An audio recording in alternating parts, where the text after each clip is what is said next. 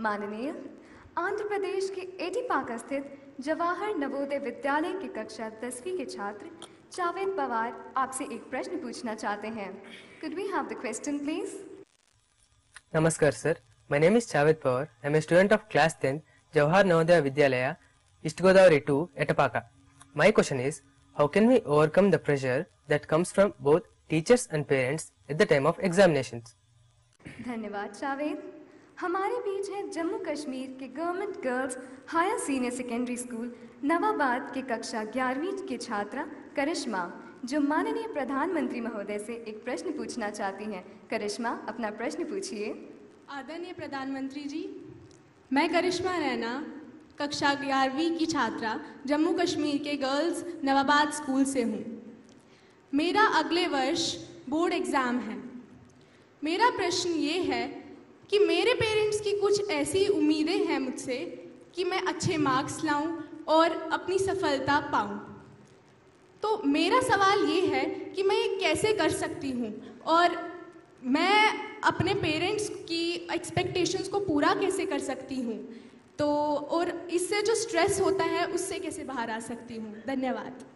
Thank you करिश्मा इसी से मिलता जुलता एक और क्वेश्चन छत्तीसगढ़ से डीएवी मुख्यमंत्री पब्लिक स्कूल, भगवानपुर गाँव की कक्षा बारहवीं की छात्रा मोनिका बायगा उत्सुक हैं।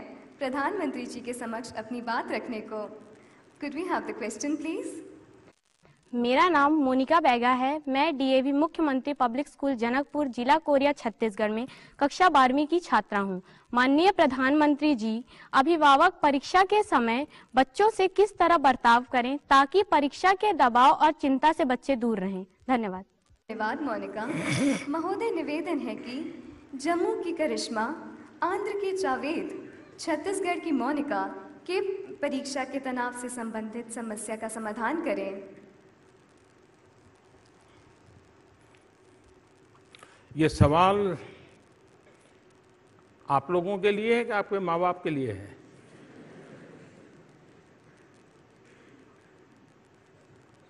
आपको लगता है कि जो बात आप अपने मम्मी पापा को नहीं कह पा रहे हैं, वो आज मोदी जी सुना दे।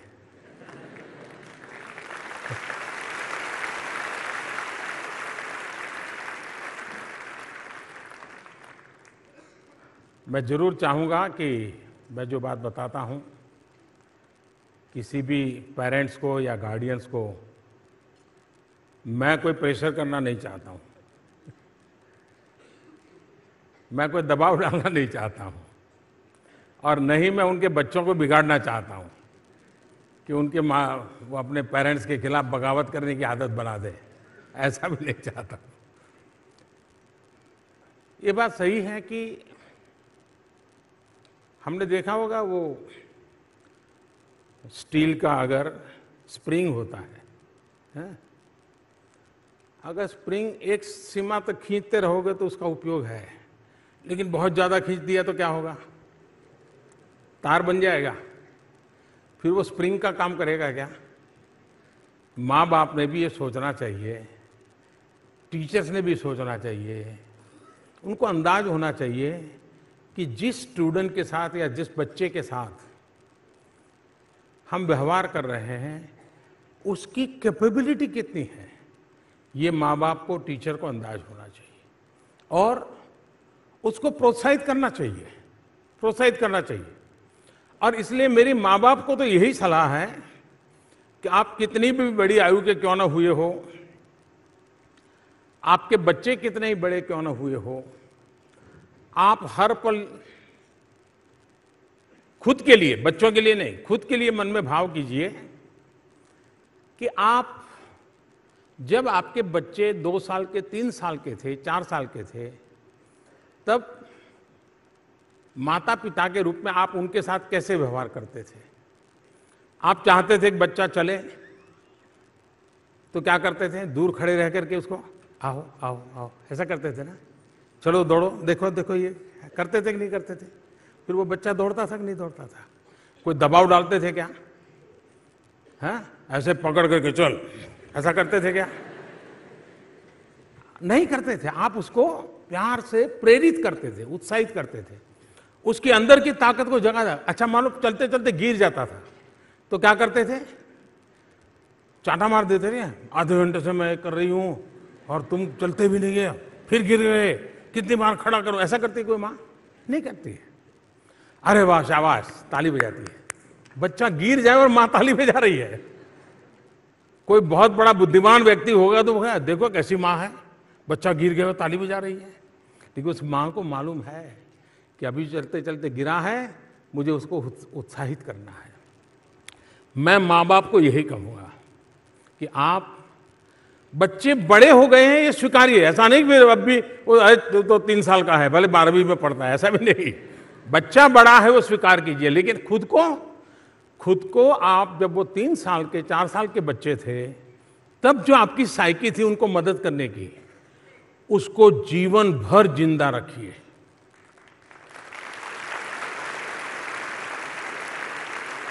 उसको कभी मरने मत दीजिए। जिस परिवार में माँ बाप की ये सोच होती है कि मैं मेरे बच्चों में उनको जहाँ जाना है, जैसे जाना है, रास्ता अगर सही है तो मैं हमेशा प्रोत्साहित करने के लिए प्रयास करूँ। परस्यू करना चाहिए, प्रेशर नहीं करना चाहिए। अब परस्यू और प्रेशर के बीच में बहुत ही नैरो लाइन है। ये बैलेंस कैसे बनाना? और इसके लिए मैं बच्चों से भी आग्रह करूँगा और माँ बाप से आग्रह करूँगा कि वो कभी जिनके साथ बच्चे कंफर्ट है, उनको कभी कहिए कि भी वो समय निकाल के आपके घर आए। दादा, दादी हो, नाना, नानी हो, चाचा, चाची हो, कोई एक टीचर हो, उनको कहिए जरा घर पे आइए चाय पीने के लिए। और धीरे से बच्चे को उसके साथ छोड़ दीजिए और आप दूसरे कमरे में चले जाइए। और टीचर को बता उस, गार्डियन को बता के रखिए कि उससे बातें करे, खुल करके बातें करे, वो उसमें से खोजें, और फिर वो उसके माँ बाप को बता दे अकेले में कि मैं आज उससे आधा घंटा बात की, ये उसके मन में चल रहा है, आप लोगों को इसको एड्रेस करना चाहिए। अगर ये थोड़ा मैकेनिज्म बन जाए, पहले ये मैकेनिज्म था, क्योंकि जॉइंट फैमिली थे, घर में और भारत का बच्चा सुपर पॉलिटिशियन होता है। उसको अगर सिनेमा देखने के लिए जाना है, उसको मालूम है पप्पा मना करेंगे तो दादी के पास जाएगा। उसको मालूम है कि नए कपड़े लाने हैं, माँ मना करेगी तो पापा के पास जाएगा। उसको बराबर मालूम रहता है घर में किससे क्या करना है। ये क्षमता उसके अंदर आ जाती है। उस बालक को माँ परिवार में भी इसी रूप में किया इसका मतलब ये नहीं कि उसको आगे बढ़ने के लिए प्रोत्साहित ही न करें। नहीं भी मोदी जी ने कहा था, ज़्यादा इंटरफियर मत करो। ऐसा नहीं। आप उसको जानो, जान करके उसको जताओ कि देख, तेरे अंदर ये ताकत पड़ी हुई है, तेरे में, तेरे मेरी विशेषता है। तुम इसको क्यों उपयोग नहीं करते हो? देखो, कोशिश करो। जितना ज़्यादा प्रोत्साहित करोगे उतना परिणाम ज़्यादा मिलेगा। जितना प्रेशर करोगे, उतनी समस्या को बल मिलेगा। अब माँ बाप को तय करना है, टीचर को तय करना है कि हमें समस्या को बल देना है कि प्रोत्साहित करके उसको ही शक्ति में परिवर्तित करना है। मैं रास्ता चुनूँगा, प्रोत्साहित करना, हर बालक की शक्ति को उजागर करना, उसको प्रोत्साहित करना, इसी को मैं बल दूँगा।